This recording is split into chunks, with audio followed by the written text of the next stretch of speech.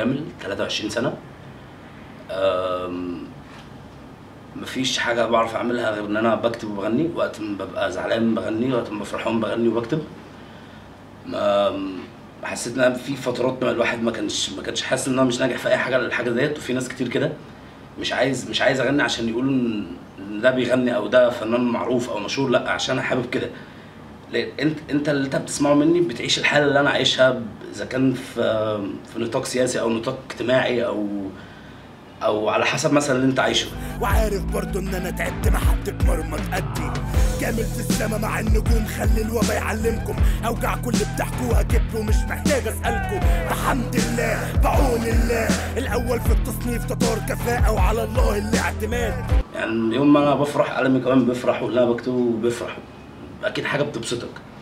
مش عايز مش عايز الراب يبقى اللي هو الناس مش فاهماه. نفسي نفسي الناس اللي تفهم راب. زي ما هم عملوا بره الناس العادية لما بتسمع راب بتبقى فاهمة هم الناس دي بتعمل إيه. مش زي ما هم مش زي مش زي مثلا أنا بسمع حاجة محتاج إن أنا أسمعها وخلاص. لأ أنا عايز أفهم تبقى أنت فاهم أنا بعمل إيه. مش مش حاجة كده بتسمعها وبس.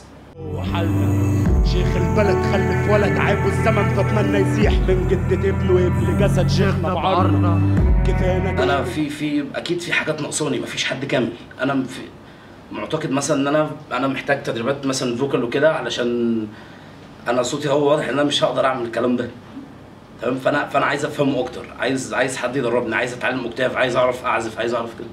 أشرب من دمك لو تهني حتى لو كان دلع. عكاز مخوخ ما انتش صاحب أصلك عكاز خرع. خطار في النار بنرمي ولاد الكلب. وأحمد كامل صباح إدمان لكل شخص سمع. كلها فرعون ما عادش بينا مكان لموسى. ما تستناش جدعنه من حد اللي يطولك هيدوسك. أخوك مش أخوك الناس دي تون ما حدش هيصون العشرة تون